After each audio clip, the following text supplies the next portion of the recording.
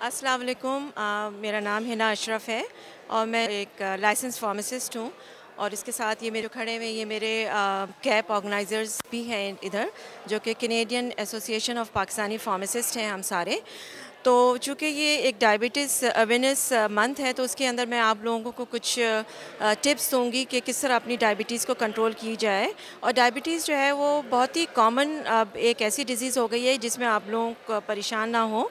उसमें आप कंट्रोल कर सकते हैं। अगर आप का शुगर लेवल आया है ब्लड वर्क में कि आप जो है बॉर्डर लाइन हाई है तो वो आप उसको डाइट एंड एक्सरसाइज से कंट्रोल कर सकते हैं। और one fifty minutes per week की एक्सरसाइज आपको करनी है और डाइट को आपको कंट्रोल करना है।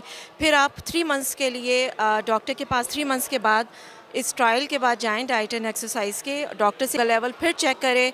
अगर शुगर लेवल आपका फिर नॉर्मल नहीं आता है तो फिर आप डॉक्टर आपको फ़र्स्ट लाइन ऑफ़ ट्रीटमेंट दे सकता है मेडिकेशन के तौर पे कि जो कि आप वो ले सकते हैं।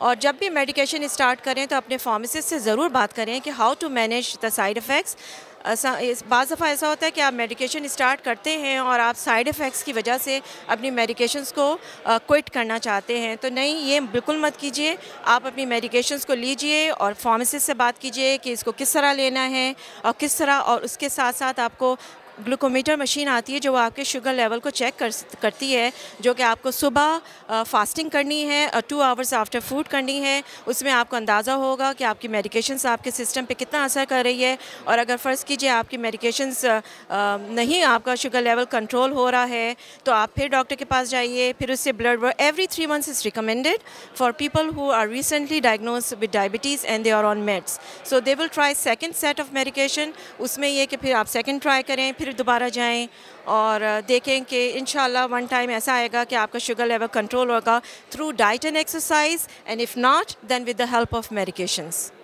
thank you